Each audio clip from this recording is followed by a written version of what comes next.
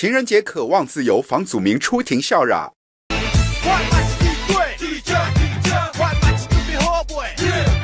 成龙之子房祖名惹上了大麻烦，被押一百四十八天后，经首度露面于北京东城法院出庭受审。他的眼神或说柔和，哎，或说呆滞，总之英气尽失啊，认份面对。哎，至于轻松的态度，嘴角的微笑也是有原因的。去年八月十四号，房祖名和柯震东在中国涉毒，被北京公安抓取关。当时传和房祖名交往三个月的小牌女星洛诗同场被逮。柯震东在北京行政拘留十四天后获释，新片《小时代四》和打喷嚏却如判死刑，供应无期。房祖名因为收容他人吸毒，哎呦，罪比较重。但公诉人在目测年纪上，嗯，远比辩护人代表轻得多。他去年自首缴出一百一十七克大麻，并充满悔意。他说：“我犯了错，我知道错了，我应该遵守法律。”开庭九十分钟后，北京东城法院审查员判他有期徒刑六个月，并处罚金两千元人民币。是说中国歌手李代沫也构成收容他人吸毒的罪名，却被判了九个月。中国男星黄海波买春刑期跟房祖名一样是六个月，网友就笑批啦，吸毒判的比。嫖妓还轻啊！加上羁押一日折抵刑期一日，房祖名二月十四号情人节前后便可获释。哎呀，他可以赶上回家过春节，跟成龙和林凤娇喜洋洋的团圆啦！苹果鱼郎赖在这里给房祖名阖家拜个早年，嘿，报道。